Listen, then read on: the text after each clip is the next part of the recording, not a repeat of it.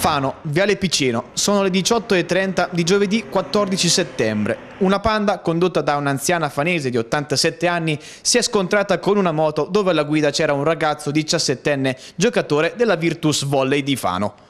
La panda, che stava procedendo verso Marotta, stava svoltando verso sinistra in direzione cavalcavia per dirigersi verso il mare ma l'anziana autista, non accorgendosi della corsia opposta che stava arrivando una moto, guidata appunto dal minorenne, non ha potuto fare nulla per evitare l'impatto.